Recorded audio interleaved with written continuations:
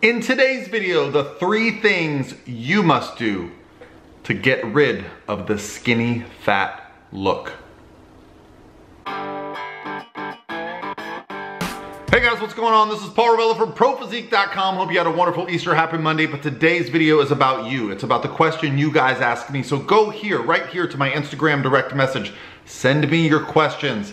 Today's question comes from one of those direct messages, and it's a great one. My friend here just wants to know, I'll put on the screen, how does he get rid of that skinny fat look? And I'm gonna give you three things to start doing this week, right now, today, that you can do to start losing that skinny fat look. How can you change your body composition to look a little bit better? It's three simple things that I want you to change. And if you like this type of information around how you can develop the physique of your dreams from a physique expert, well, hey, hit subscribe. It's what I love to do here. So step one. All right, guys, so I'm here at the Pro Physique studio where I work during the week. So that means I have to have food with me. So step one, the first thing you need to start doing when it comes to getting rid of that skinny fat physique is pretty simple. You just reach in the fridge a couple times a day. Oh, no, not champagne. That's right, protein. So what just happened there? What did I pull out of the refrigerator? Well, it's pretty simple. A couple times a week, I take a bunch of food, I cook it, I put it in Tupperwares, and I have my protein for the week. What does this allow me to do? Well, first of all, if you're not aware, which I'm sure you are, but let me just drop some knowledge for you. Protein is the building block of muscle. Hell, it's the building block of all the cells in our body. But if you want to build more muscle, which is a big part of the skinny fat look, which is where you have some saggy skin, you're kind of a lower body fat, but you don't have muscle fullness, and so you just end up looking and feeling a little weird. Adding protein to your diet is gonna improve that process through something called muscle protein synthesis, or the process of taking amino acids and adding them on to our muscle cells, making them bigger. Bigger muscle cells, think of them like a balloon. You make the muscle cells bigger, they expand, they push out against the skin. You start to look like this right here, like this guy, this 45 year old guy. That's right. Lifetime natural bodybuilder, and I still managed to not look too terrible.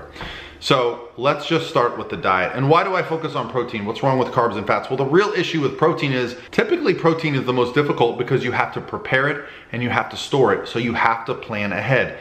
So what I like to do is do this for a couple days in advance so I don't have to think about what I'm eating. When I think about what I'm eating, I tend to go eat something that's a little more delicious and a little more calorie dense than I actually need. But when you have a bunch of lean protein sources laying around, it really helps you stay full all day long so you don't eat crap. So yes, it's an important part of this process, but I don't want you to worry too much about stressing about all things.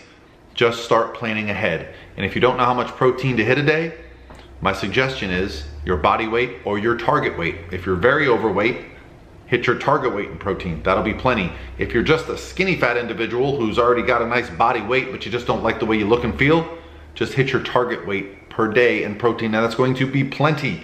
You break that up over three, four, five meals, whatever you're comfortable with, you're gonna be spiking your muscle protein synthesis throughout the day. Now let's talk about step two.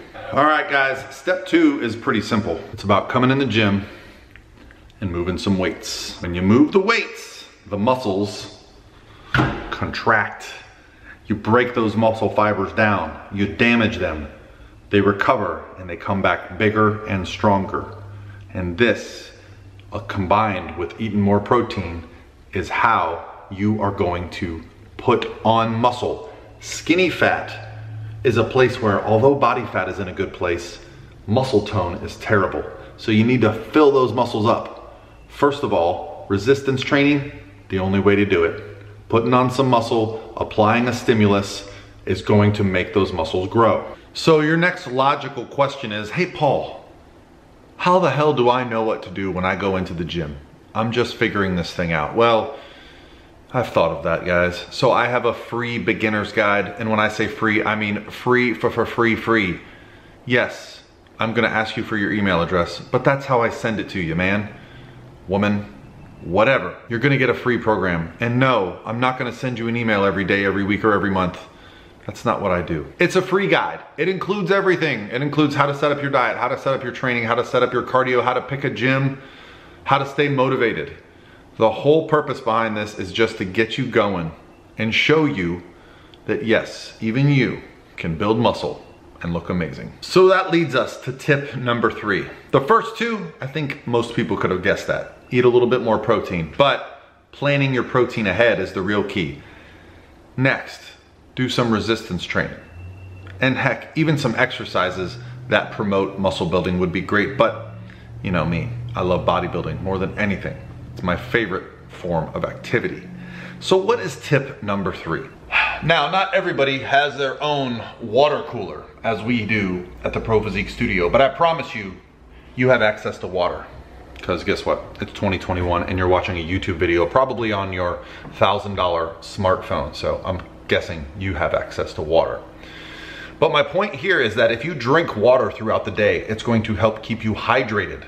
Muscle looks a lot better when it's hydrated. That's right.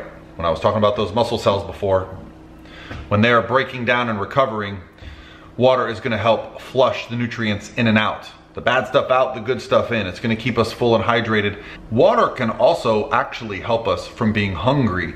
A lot of the times when we get a hunger signal, it's because we are actually a little bit dehydrated. So you combine eating that protein, getting in the gym, and drinking more water, you're going to change the way you look. Your skin is going to have better tone. Your muscles are gonna have better fullness. You're gonna avoid eating crap because you planned your protein ahead. You've also been training hard. So you wanna back that effort up in the gym with positive diet behaviors. So as I go along my current fat loss journey that I've been doing during the Pro Physique Transformation Challenge where we're giving away $50,000 in a couple weeks, it's about to end. Don't worry, we're gonna be starting a new one maybe August, I've learned some things along the way. And that is that even I, who's been lifting weights for 25 years, can get into some bad habits. I was not planning my protein ahead. I was not drinking enough water. And I sure as hell wasn't being consistent with my training. When I started doing all those things again, I started looking damn good if I do say so myself. So it's simple guys, I know, and maybe this is something you've heard before, and maybe today's the the day that you actually take action. Just start planning your protein ahead. Start going to the gym more consistently and start drinking more water and allow time to handle the rest. Consistency plus work equals the physique that you want. All right, guys, that's gonna be it for me today. Hope you guys had a wonderful Easter. Tomorrow I'm gonna do a show day vlog where I traveled to Orlando and uh, we had an amazing weekend. I won't spoil it, but we won. Okay, bye guys.